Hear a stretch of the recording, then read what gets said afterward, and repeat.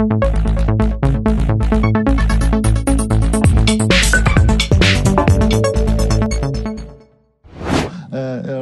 امكانيه تقليص برنامج التيسير المتبع حاليا وإمكانية التخلص منه بشكل تدريجي.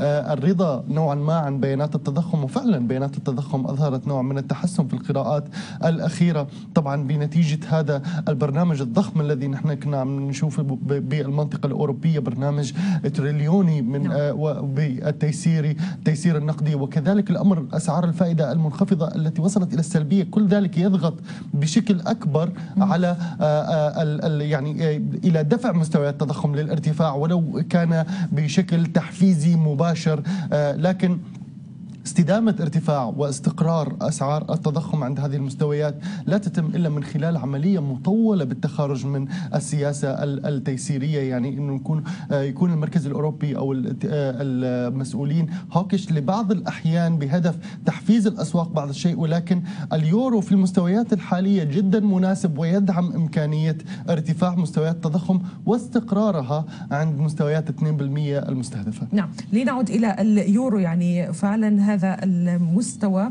الذي نراه حاليا يقال أن اليورو أمام عهد جديد ورالي جديد من الارتفاعات. يعني هل فعلا الأسواق ستركز على عملية شراء اليورو؟ أم أه. أن الأمر مرتبط أيضا بما يحدث مع الدولار؟ يعني الدولار هو المحدد وليس اليورو. أه الدولار لعب وضعف الدولار الأمريكي في الآونة الأخيرة لعب دور مهم جدا في ارتفاعات اليورو اللي نحن شاهدناها. يعني ارتفاعات اليورو شاهدناها كانت تقريبا 50% من ضعف الدولار الأمريكي الذي وصل إلى أدنى مستوياته في ثمانية آه، أشهر تقريبا. نعم. وفي نفس الوقت عندنا آه، اليورو الذي آه، استفاد من تصريحات ماريو دراغي. فالتأثير كان مضاعف أو مزدوج لدعم أسعار اليورو بالارتفاع. ولكن فنيا نحن بنشوف أنه لم تبدأ بعد الإشارات التأكيدية أنه صرنا بترند صاعد واضح المعالم.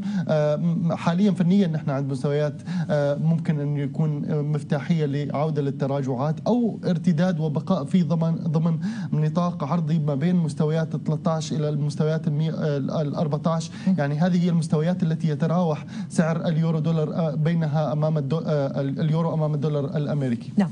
لنعد إلى المنطقة الآسيوية وحتى كانت لديها محددات قوية يعني نشاط المصانع في الصين ملفت. يعني حركة التصدير هل عادت لقوتها أم نتحدث عن استهلاك محلي هو الذي يقوى؟ خصوصا أن الصين لديها هذه المبادرة الضخمة حول طريق الحرير الجديد الذي سوف يشعل أسعار الكثير من المعادن والسلع. بلا شك الصين يعني آه، بعد فترة طويلة من الركود بعض الشيء الواضح في قراءاتها الاقتصادية مثل هذه القراءات تعتبر بارقة أمل وأعتقد يعني أعطت نوع من الزخم في الأسواق العالمية إجمالا. عودة للتفاؤل في نقطة معلش ولو أنه هي تتعلق بالولايات المتحدة الأمريكية والسياسة النقدية التشددية التي كانت هناك وباقي السياسات جميعها التيسيرية. الآن بدأنا نرى الاستفادة من السياسات التيسيرية سيريا كما استفاد الاقتصاد الأمريكي وتقلص الفجوة ما بين التوجهات في السياسة النقدية ما بين الولايات المتحدة الأمريكية وباقي الدول كندا أوروبا آه، وبريطانيا كلها تتجه إلى تشديد في السياسة النقدية ورفع لأسعار الفائدة وإمكانية التقليص الصين كذلك الأمر بدأت تستفيد من الوضع السابق الذي كانت تمر فيه بعملية آه، آه، إعادة بناء للهيكلية الداخلية والتركيز على الأسواق الداخلية بشكل خاص. الخاص وكذلك بناء العلاقات الانترناشونال نعم. الشكل المطلوب الذي حفز نوعا ما البيانات التصنيعية على وجه التحديد. راينا كان هناك نوع من التراجع في مؤشرات التصنيع عاد للارتفاع مجددا ببعض القراءات. هذا يعتبر أيضا قراءة إيجابية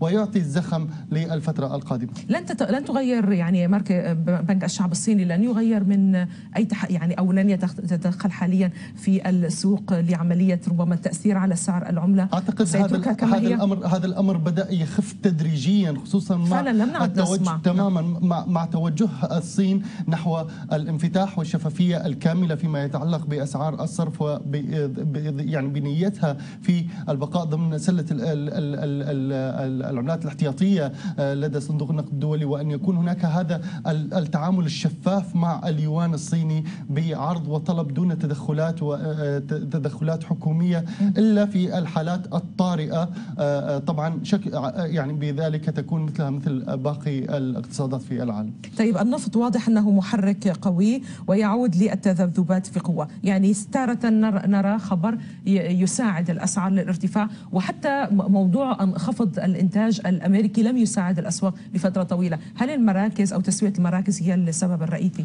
الرئيسي حاليا للتراجع؟ إلى درجة كبيرة النفط يعني ابتعد عنه الخطر الكبير. كان هناك خطر محدق حقيقة في الأسابيع القليلة الماضية كنا ممكن نشوف إمكانية انهيار وهبوط أكبر لأسعار النفط دون مستويات ال 40 دولار للبرميل ولكن بالتماسك اللي نحن شاهدناه لل WTI على سبيل المثال عند مستويات ال 44 إلى 45 دولار للبرميل كانت هي جيدة جدا للإبقاء على دعم أسعار النفط عند هذه المستويات وإمكانية عودتها للارتفاع مع المؤشرات الإيجابية. ما عاد في عندي عودة حتى فنيا رأيناها بأسعار النفط.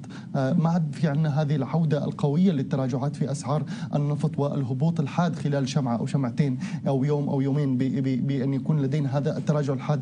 هناك نوع من التماسك عند مستويات ال 44 دولار للبرميل بالنسبة لل WTI وهذا فنيا يعطي نوع من آه، التفاؤل بالفترة القادمة. أشكرك أستاذ رائد خضر وأنت رئيس قسم الأبحاث في إكويتي جروب أشكرك على تواجدك معنا.